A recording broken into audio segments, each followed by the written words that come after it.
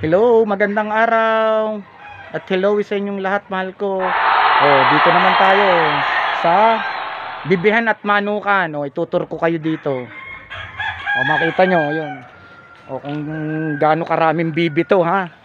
Tsaka malalaking manok, mga Rhode Island.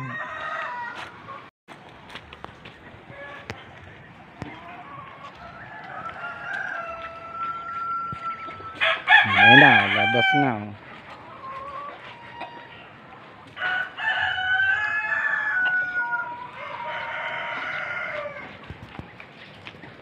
Yung Sana nakikita nyo. Good size tong mga bibi nila, malalaki talaga. Sa ngayon hindi pa to naka for eh. Pero darating ang mga ilang buwan pa ipo for sale na yung mga lalaki.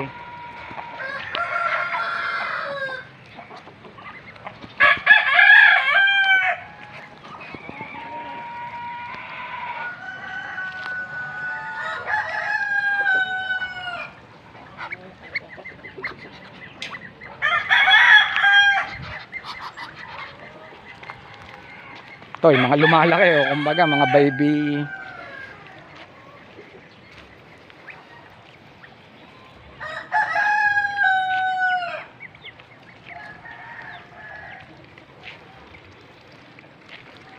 Mamaya may titingnan din tayong gansa.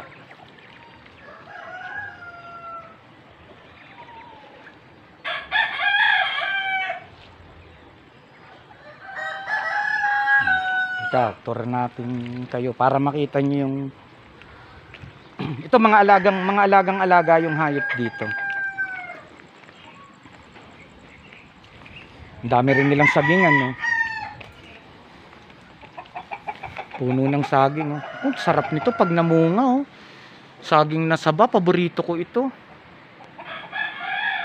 Mapatakpan kaya mata ng nagbabantay at ah, masungkit yung sampiling ngayon, no. Ngayon yung mga breed ng manok na malalaki. Hmm, Sana nakikita nyo.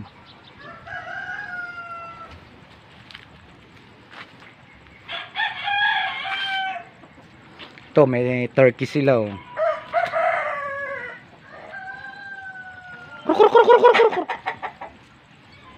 Yan, bihira yung ganyan na turkey na puti.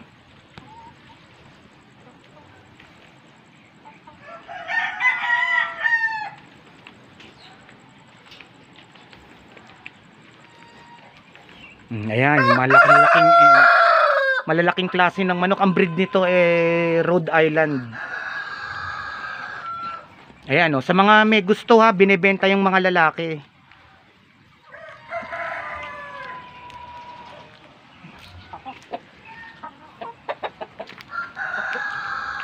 Ang lalaki niya no.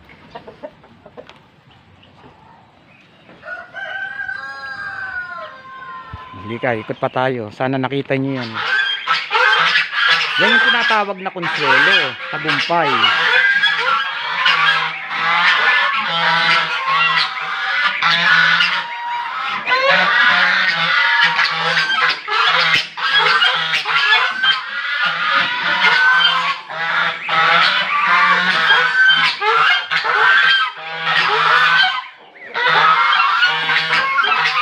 Nakakatuwa yung mga baby na anak ko.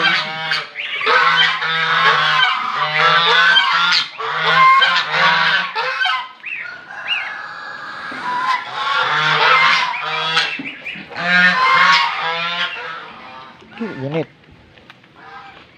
Dito mga babae at mga pinalalaki. Oh. Maglalakihan din yan katulad ng mga nakita natin. Ito pa oh, kaya binebenta nila yung lalaki oh. Sobra-sobra sila sa lalaki. Kaya kung gusto niyo magpalaki ng mga babae yung manok. Ayan, pag kin-cross breed nyo yan dito sa mga ganitong breed. Siguradong lalaki yung lahi. Alagang-alaga yung mga yan. O, dito na tayo pupunta sa swimming pool nila.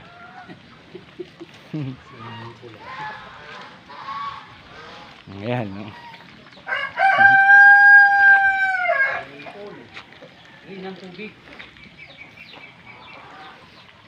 Wow, sarap. Tamang-tama sa summer. O, tingin-tingin dito mga bibe.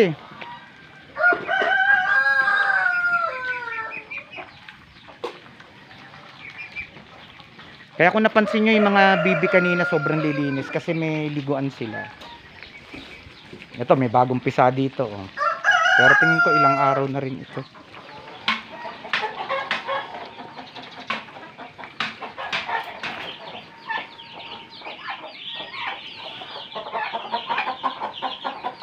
Mami Dak, binibidyo lang kita. Ayun, ang dami ring sisiw. Nag-breed talaga sila rito ng mga manok, malalaking manok, merong native, at bibe na maraming marami, kung nakita nyo. Ito, isang inahin lang to, ilan yung sisiw niya.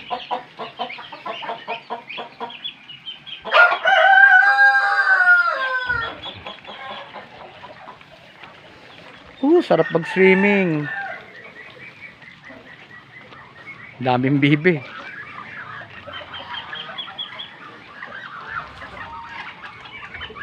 Tapos tayo dito sa kabila. Yan, dami pa rin naglalakad dito. Bali, inikot natin yung isang kabuuan. No, ito, panibago na naman ito.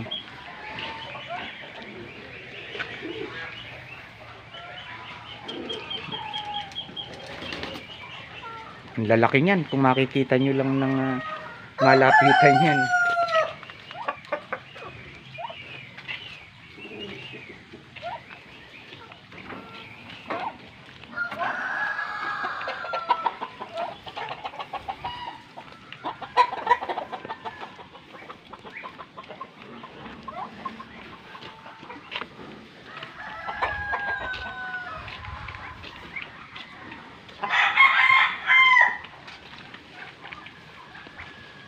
Kaya sa susunod ah, yung may gustong mag-inquire regarding sa Rhode Island na lalaki. Tapos eventually magbebenta rin ng babae at saka ng mga bibe. Kaya lang ngayon gusto mo ng paramihin ang gusto yung bibe. Pangpulutan, tamang-tama sa ngayong ano, Holy Week. Bawal ang baboy. Oh, ito na yung last part ah. Tingnan nyo naman tong na ito, oo.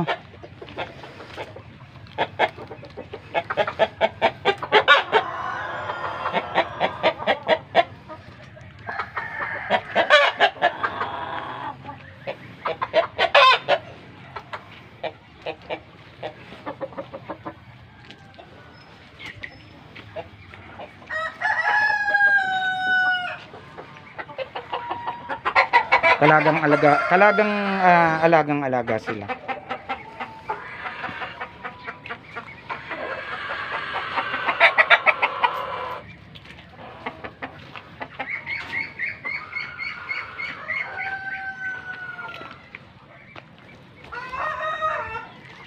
Ayan yung kabuuan. No? Dito yung pinakamarami kasi nagpapakain. Eh.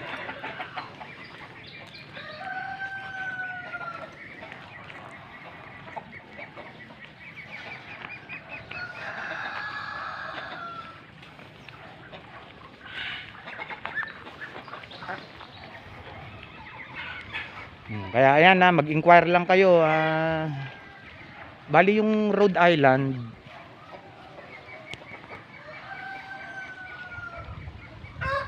for sale na yon yung mga lalaki. Tapos, sa susunod yung mga lalaking bibi naman. Tapos siguro magbebenta na rin sila ng mga Rhode Island na babae.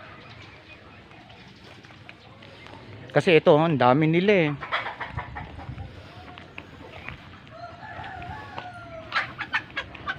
Oh, mag-inquire lang kayo yun, inaasawa, oh, huling-huli. Oh, hanggang dito na lang. Ingat tayo parati. Mag-like kayo at subscribe. Marami pa tayong pupuntahan. Pupunta tayo sa DRT. Samahan nyo ako doon. Tapos sa Bustos Dam. Sa anong ano yung isang dam? Ha? Angat Dam. Yun, pupunta rin tayo doon.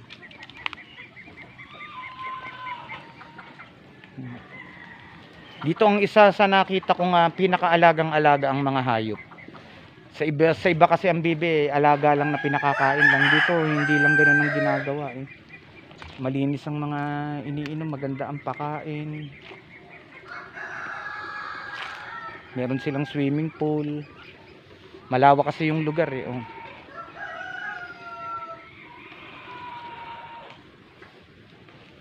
Hmm, Hanggang dito na lang. Babay sa inyong lahat. Ingat parati. Mag-like and subscribe tayo.